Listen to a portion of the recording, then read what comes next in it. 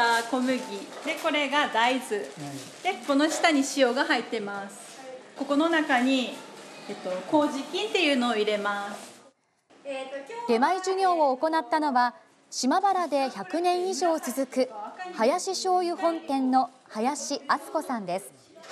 去年日本醤油協会から女性では九州で初となる醤油物知り博士に任命されました醤油が美味しくなる秘密は発酵にあります。発酵段階の異なるもろみを絞って生醤油を作り香りや味の違いを体験しました。いいよ。いいよもっと強くしほらそれ。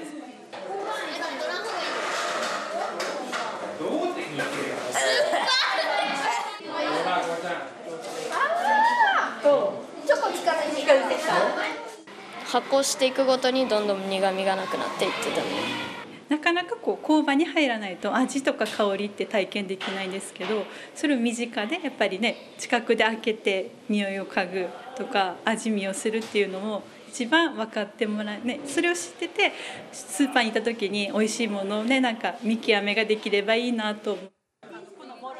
林さんは今後も小学校などで醤油と和食文化の魅力を伝えたいとしています。